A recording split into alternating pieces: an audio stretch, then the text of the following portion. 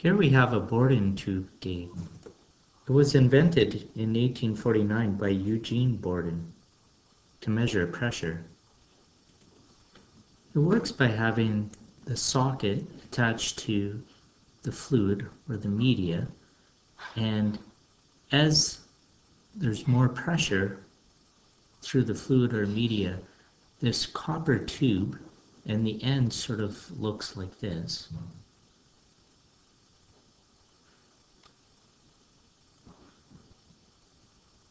So it's sort of oval shape.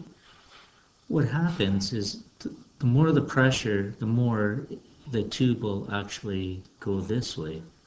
Um, so if I were to redraw the tube, it would end up moving up.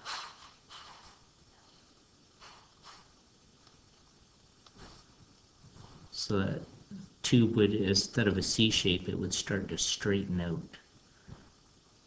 And when that copper tube straightens out, the more pressure, what happens is it's attached to this mechanical link here. And this causes a displacement. So what happens is this link moves this sector, and the sector has little teeth. And as it moves, and it's going to move